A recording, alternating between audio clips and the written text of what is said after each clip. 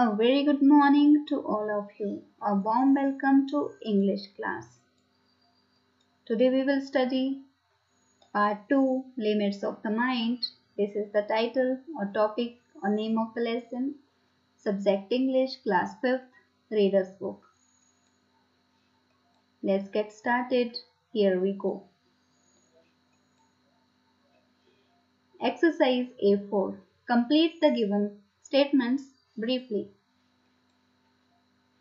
A Eklavya's mother would often tell him not to go near those people who are highborn. These are the fill-ups at page 58.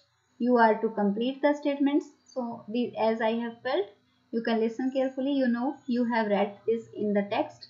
She was telling that don't go with uh, near those people who are highborn. And they were Kuru princes. The Kuru princes came to the forest. Now we all know why they had come to practice archery. Arjuna's skill in archery was wonderful. Each day Eklavya would practice shooting and imagine a pat on the back, a pat on the back from Drona. After the loss of his right thumb, Eklavya learned to shoot with his left hand and his feet. Real courage means fighting against the wrong limits and respecting the correct ones. Next, here we go for exercise A8 at page 60. The old man was now what uh, what is this? Let's see. Now the old man was looking fiercely at his son when the guest guests came in. Now to look fiercely means glaring or staring. To frown at to look with anger. In olden days kings used to travel used to travel it is. Kings used to travel in two-wheeled vehicles drawn by horse. Okay, so these are called chariots. Shekhar was avoided by his friends due to his bad habits. To avoid means rejected or shunned. Four and this is wheeled vehicles are called chariots.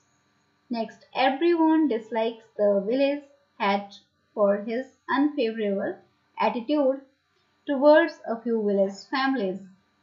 Discrimination, a difference or discrimination. So now Sheena went to the principal and accepted her mistake with an ability to disregard fear. Answer will be courage. Exercise A9. The Drona was speechless. Now, less is speaks. In the word speechless, less is speaks, which has been added to word speech to make a new word. Speaks is a letter or a group of letters added to the end of a word make another to make another word. So we here to use no. So find at least five words from the chapter ending with a speaks so do not write words ending in regular verb that is uh, which ends in ed or continuous form which ends in ing.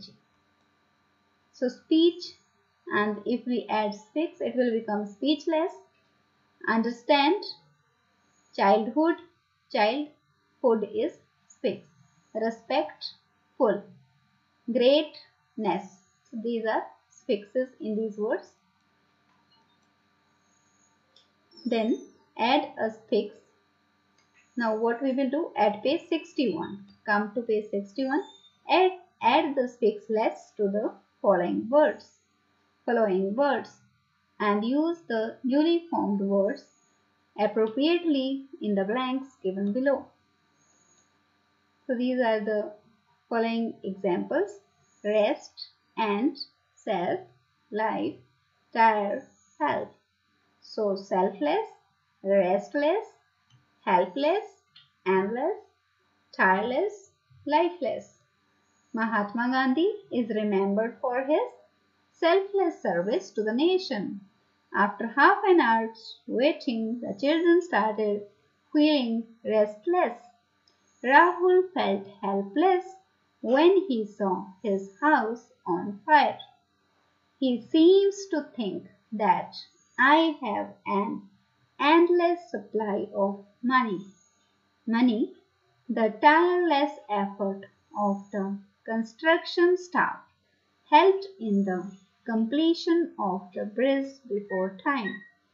The, the bird's body appeared to be lifeless, what a little water revived it. So this is then the most interesting part of this lesson exercise A12 page at page 62 now, now match the proverbs in column A with their meaning in column B.